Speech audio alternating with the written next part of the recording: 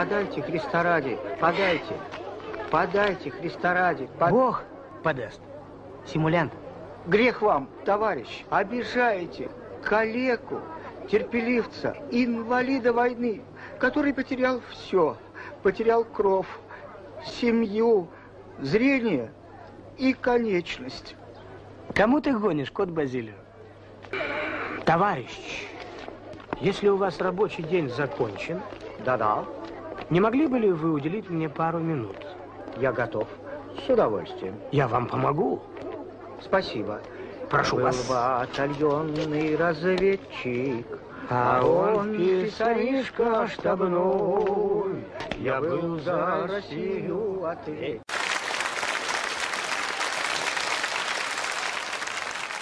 Все всегда сравнивают все с Западом. И что не возьмут, на Западе лучше. Вообще уже никакой гордости не осталось. Ты людей сравни прежде всего. Да хотя бы возьми, кто на Западе нищий и кто у нас. Наш нищий самый образованный в мире. У нас в правительстве сейчас ученых сидит меньше, чем на паперти. И некоторые, которые на паперти, посильнее тех, что в правительстве. Поменять бы их местами. Мне один полковник из ФСБ сказал, двоих с паперти выдвигали на Нобелевскую премию. И вроде дали, но им не в чем было поехать получить. А женщины с паперти, они не разговаривают даже с нобелевскими лауреатами, только с Богом. Живут в четвертом измерении. К нам возвращаются помыться, поесть, что дадут. По специальности возьми. У них нищие – это отбросы общества. У нас это сливки. Писатели есть. Пишут не про убийство и не про секс. Есть такие писатели. Нищие, конечно. Которые пишут про секс в гробу. На ветвях, в крапиве. Те живут хорошо. Поменять бы их местами.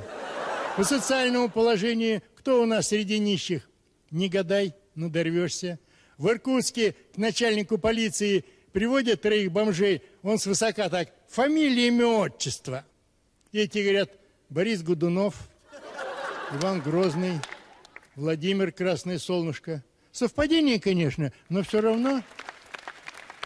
По национальным признакам возьми. Все народы представлены. Все. Русских большинство, естественно.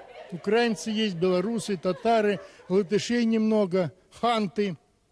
Хантов совсем мало. Их всего-то. Говорят, ассирийцы есть. Очень древний народ. У нас их осталось горсть. Беречь надо, не знаю как, больше жизни. Евреев тоже это очень древний народ. Тоже их, которые остались у нас мало. Говорят, есть нищие. Я не верю. Но, говорят, есть нищие. Даже среди папуасов. И всего двое у нас, значит, один нищий. Многие думают, нищие это которые меланхолики. Им лень землю лопату воткнуть, чтобы нефть забила фонтаном. Нет. Холериков тьма. Они 24 часа в сутки в беспрерывном движении. С утра в собес узнать, почему инфляция растет быстрее пенсии.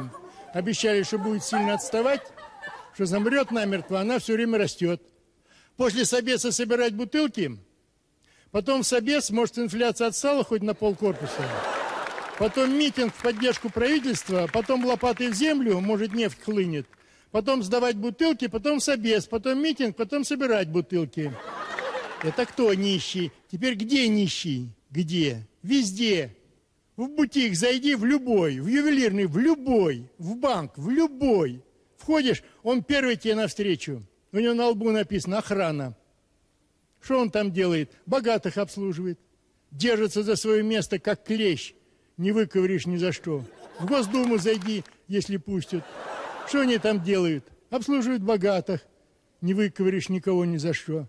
Единственное, конечно, в Кремль зайдешь, царь колокол есть, царь пушка есть, царя нищего нет. Не то, что царя, вообще в Кремле нищего ни одного. Теперь смотри, жалко не проводит Олимпийских игр среди нищих. На всех пьедесталах стояли бы наши люди. Метро они с квашеной капустой, шариками светящимися. Полиция появилась, хоп, нет никого. Секунды не прошло. Кто подпрыгнул на три метра без шеста? Другой, пока этот подпрыгивал, уже на той стороне улицы стоит опять торгует. И еще деталь. Все относительно, все. Миллионер по сравнению с миллиардером нищий. Даже есть нищие миллиардеры. Ну, если у него только 1-2 миллиарда официально. На самом деле, пусть 10-20 миллиардов. Что он по сравнению с тем, у кого 20-30 официально? Что он себе такого может позволить? Какой каприз? На Мерседесе через две сплошных полосы? Как слаломист слева направо, потом справа налево? Напротив Министерства внутренних дел. На красный свет. Не давая себя обогнать скорой помощи, вряд ли рискнет. Потому что могут привлечь. Могут. Могут привлечь, могут не привлечь. Но могут и привлечь, потому что у нас все равны все нищие. Так получилось исторически. Теперь уже не докопаешься, почему это у нас все равны. Кто-то записал в Конституции, потом спохватились, а все, уже закон, уже все равны. В общем, нищих, какие есть у нас, нигде больше днем с огнем не найдешь. Так что не надо во всем преклоняться перед Западом. Есть у нас еще чем гордиться.